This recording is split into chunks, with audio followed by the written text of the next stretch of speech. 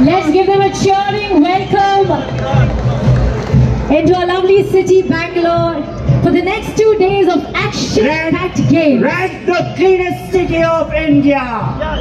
Densely populated. Night out at Sarafa Bazaar. Gold Kulfi in gold. Please welcome the kids of Indore.